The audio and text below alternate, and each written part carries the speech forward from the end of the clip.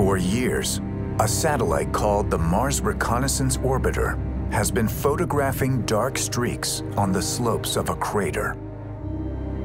Mysterious lines that appear to change with the seasons. On September 28, 2015, NASA scientists announced their groundbreaking conclusion. What we're going to announce today is that Mars is not the dry, arid planet that we thought of in the past.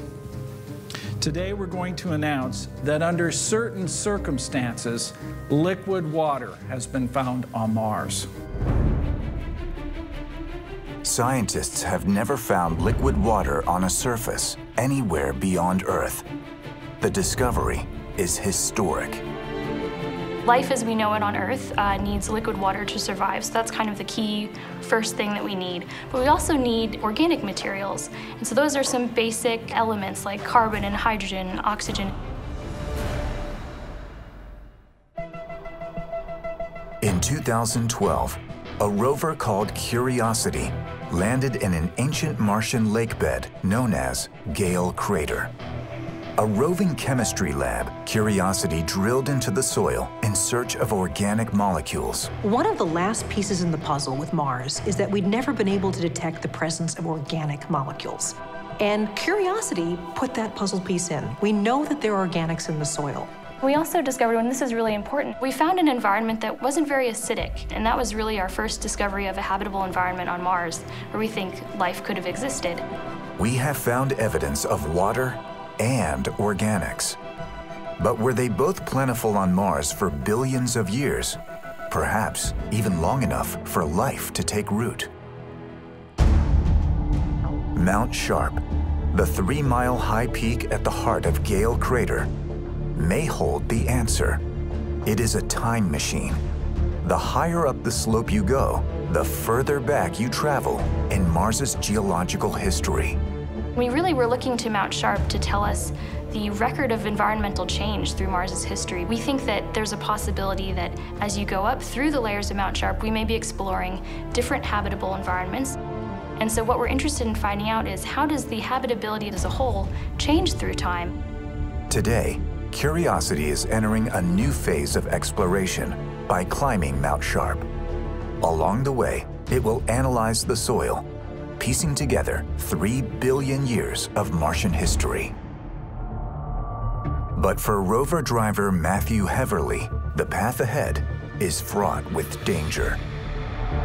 We're always pushing the limits of this vehicle. I mean, the rover's amazing. It can handle so much. But as we go to Mount Sharp, we've got some, some pretty gnarly terrain to head over. There we go.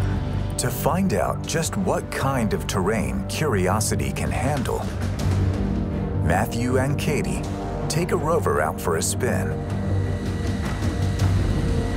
So we built three rovers. We sent one off to Mars. We built an exact copy that we keep here on Earth for testing software and cameras. And, and then we built another one, Scarecrow, because we have to adjust for gravity. Mars's gravity is 3 eighths that of Earth's, so Curiosity's 2,000 pounds become about 750 on Mars. Scarecrow rover stripped down, but it weighs on Earth what Curiosity weighs on Mars. So it's got the right ground pressure, uh, it's got the right, you know, as we're going up a hill, it's carrying the right amount of weight up that hill.